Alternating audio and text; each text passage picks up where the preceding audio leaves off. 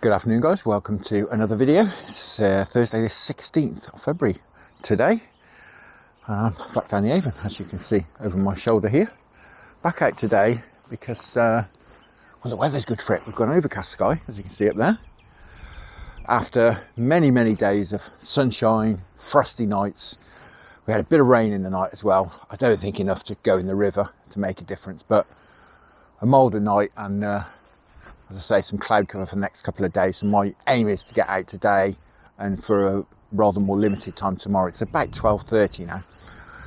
So we can fish till it gets dark. So I've got about four hours at it today, which is a lot longer than I normally have. So I've come down to this stretch, which uh, is fairly sheltered from the wind because it's blowing a bit today.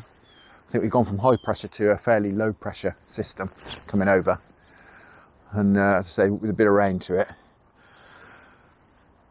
And I've come to this shelter stretch, so I fancy doing some trotting. I've got my pouch on full of mashed bread. I'll uh, I'll link you to a video of how I make this up. I'll make it in a couple of different consistencies. Very easy, obviously, to mash up bread. You just mash it up. but I'll make it in a couple of different consistencies. I'll make it um, very runny for when I'm trotting as I like today, it's it's it's like porridge, as you can see. It's like very loose. The idea is it'll break up in the water as it's going down.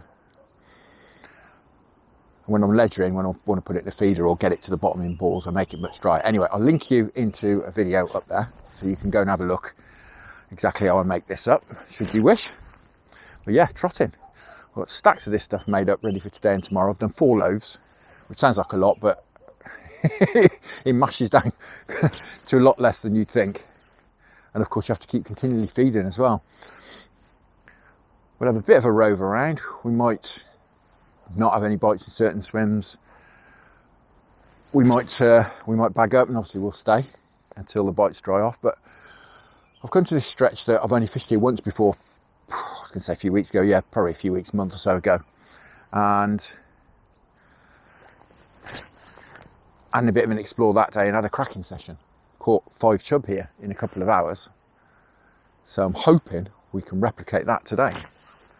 as you can see, I'm just stood here talking to you and trickling a bit of feed in as we as we stood here. But uh, I am keen to get going, so I'm going to set me I'll set my rod up, run you through the gear, and then we'll uh, we'll have a go.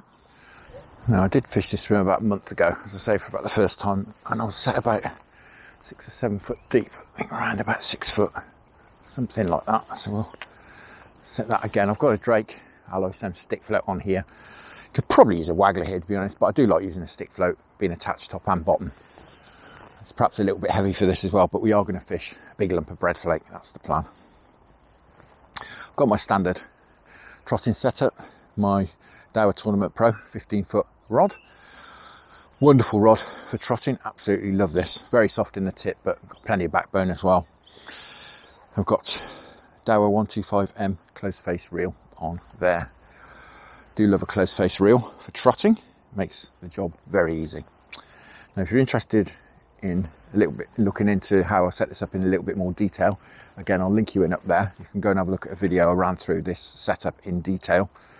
But uh, hopefully you'll stick around for this video first.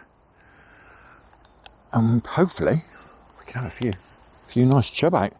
Chub really the targets today. That might catch you some nice roach as well. Doesn't usually happen with the size of the bread flake I put on. but uh, yeah, I'm looking forward to this. As I say, I haven't been out for quite a while. It's been, I think, best part of a week since I've been out. Right, I'm going to grab my towel because this is a messy business. and we'll get cracking. Now I'm wading out on a sort of beachy area here. I did think about putting my waders on to be honest but it's the only swim that I know of. I've never, I haven't had a proper explore down that way, but it's the only swim that I know of that I might need them. So that's where I've sort of stuck to my well is, but it does get very deep very quickly. I'd probably only get out about another four foot or so. Perhaps even in my chest is perhaps three foot. So I think we'll be all right here. Right, first run through. the anticipation and I say hopefully we can can have a few nice chub back. Now, I seem to remember from last time I was interested in this cover over here, and I was actually hooking them down there in the middle of the river. So we'll see what happens. Always forget to set my landing net up, but I have done today.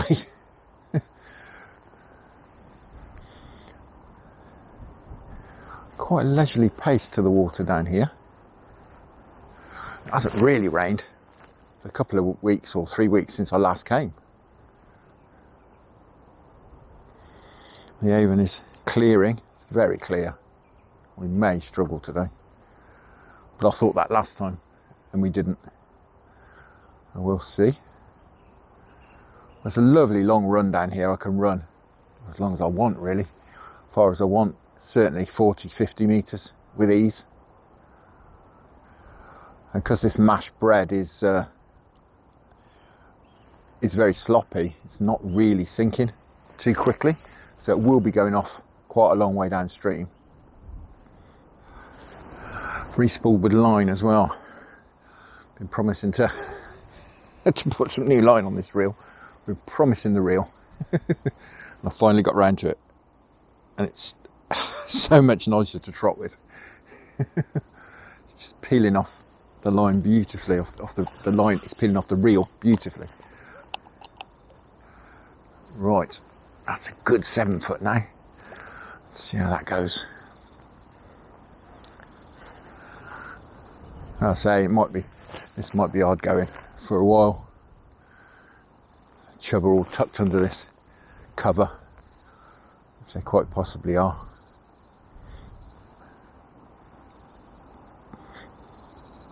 Right now it's starting to drag a little bit.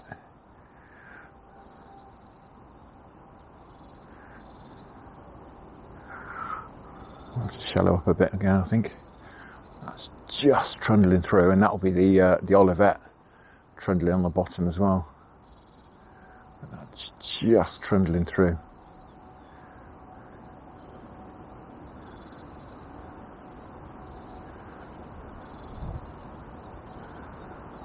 Yeah, that's just dragged under now. Right, I'll just shallow up, perhaps six inches. We've got our depth. Right. Time for a move, I think. Nothing going on there. Got itchy feet, so uh, let's go for a wander. Right. Time for a go, I think. Can't resist any longer. Been feeding for five minutes. Of course, we'll keep feeding and feeding. Just hoping I say the slightly darkened nature of this area, this little run, will have them a bit less reluctant to come out as they seem to be downstream. I think whatever happens, we'll, we'll have a few later. The challenge is to have a few before about three o'clock. That's the real challenge.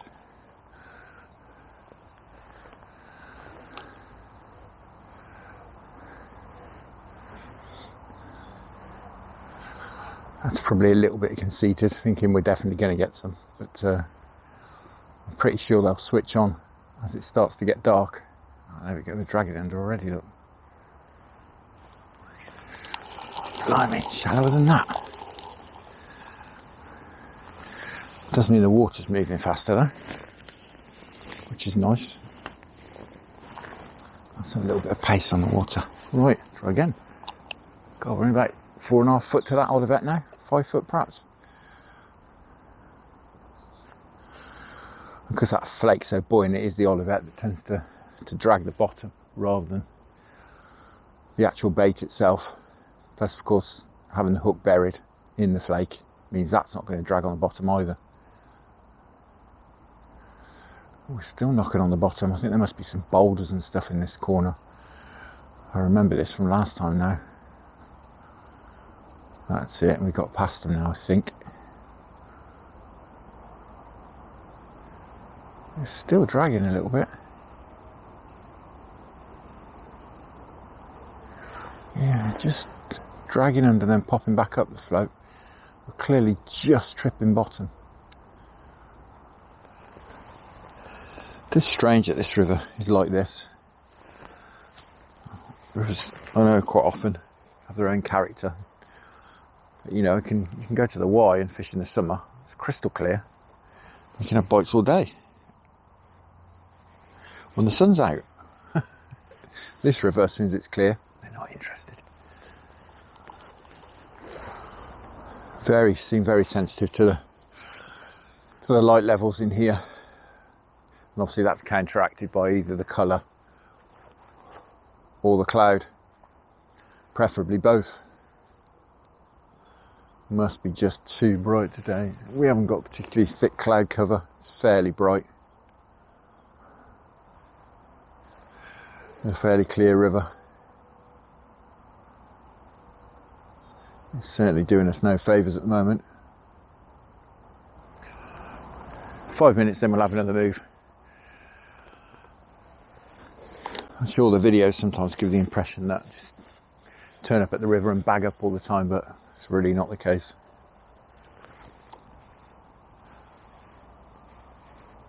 I do kind of take pride in picking the conditions I did realise that these were a little bit 50-50. It would either be okay or it wouldn't. Clearly, it's the latter.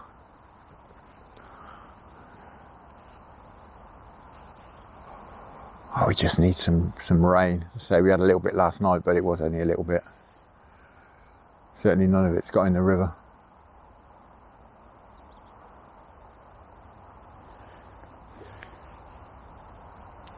Or perhaps it has. They've been gritting the roads for days. Perhaps it has got in the river a little bit and that's what's done for the fishing.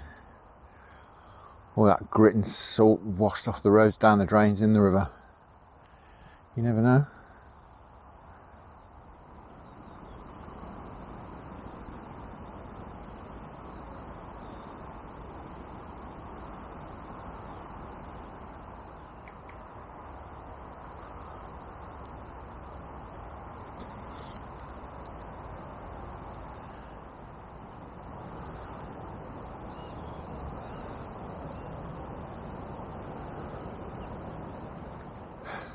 Well, guys, if things weren't bad enough, the sun's now out. the clouds have cleared pretty much, although it is starting to go down. So, oh dear, we're having one of those days today. Never mind, we're approaching the best time of day, but uh, the way this is at the moment, I'm not sure even that's going to do any good. But uh, you never know we're here. We might as well stick it out for another hour. We're now at sort of two and a half, three hours now. I don't think I've had a bite. Not a proper bite. Not a bite. I'm sure that it was a bite. I think we'll give it perhaps, we'll have another 10 or 15 minutes here and then we'll have a little move because again, there's no point in thrashing this swim. They're clearly not here or not interested. We're going to wander off downstream where hopefully this mashed bread that I've been throwing in has been going. Have a little bit of an explore, see what we can find.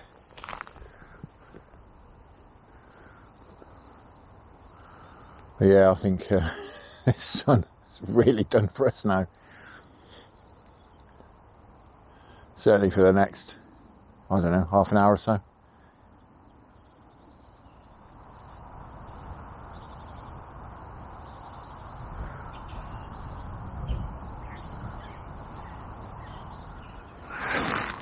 Right, I think we'll we'll finish up in here. I think it's the plan at the moment. Anyway, this is a swim I fished two weeks or so ago. I had three chub out as it was getting dark, or as dusk was approaching. Although that that big sunny thing wasn't in the sky that day. without wishing to labour a point, this this river can be impossible, impossible till it gets dark when it's when it's like this, when it's this clear. Just hoping we can tempt a few out. Just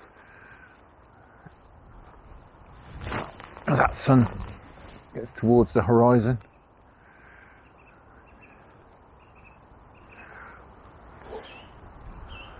I'm not convinced it's not just that though, to be honest. It may be. But I think there may be other factors at play a little bit. For some reason they just don't seem on it today. Never mind, we're approaching the best time of the day and uh, I was going to say it'll only get better from now on, but it can only get better. we ain't even had a bite yet. Couldn't get any worse. Unless we get a welly full of uh, river.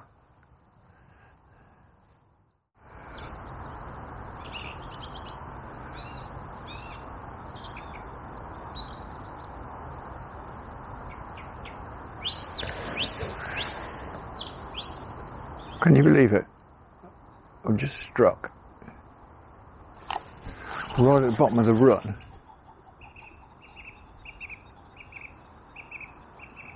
I'm not sure what we're into. Feeling a bit like a snag, actually.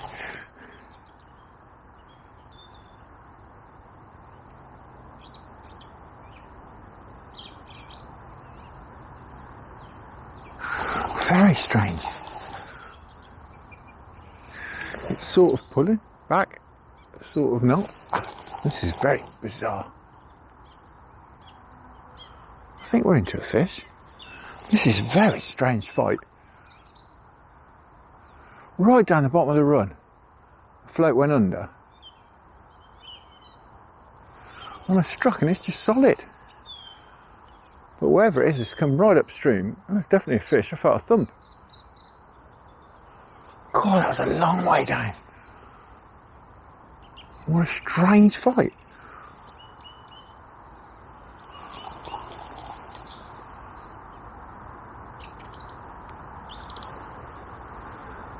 Oh, I was trying to get the trees over there. I could just see my float. This side of the trees. God. What a strange, strange fight. What on earth is this? I assume it's a chub it's going for the trees.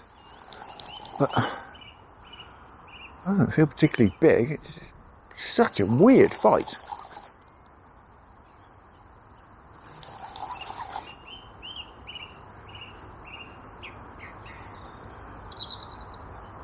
It is a chub. Wow, we've had to wait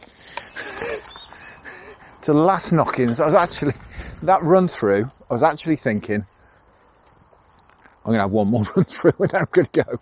Because we have waited a long old time for that fight. And it was a long way down that swim as well. It's not a bad fish though. First glance. It's not a bad one. Yeah, it was very weird all that way down. Just went solid. Almost like he was snagged up.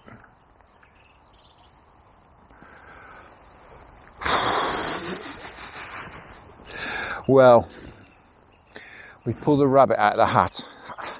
God, he's a fish as well. We pulled the rabbit out of the hat. Last knockings, covered in reeds. That's why that was why it was a funny, funny fight because he's uh, he was in the reeds when we hooked him. Go, he's only just nicked in there as well. There we go. Right, let's have, a, let's have a look at him. He's a decent fish. Absolutely wonderful. That's cracking. What a beauty. Absolute beauty. As I thought, it's got to get dark. oh, this river. Right. Well, we'll keep going as long as we can, I think. But I'm happy. I'm happy. we'll have we'll have a bit longer, but yeah, very happy with that. Cracking. So guys, we'll get this fella back. I just put it on the scales just out of interest. Just make sure my I've still got my eye in. Not far off. Three twelve. Lovely fish. Cracking. But uh, back you go. Wonderful. Blank saver. Fantastic. Well, there's just about enough light left in the sky to to pack up and go without needing a head torch, but uh, it's uh, starting to get dark certainly. This pheasant up here is telling me off. it's just coming to roost and I'm disturbing him, so I'll take the hint and go home.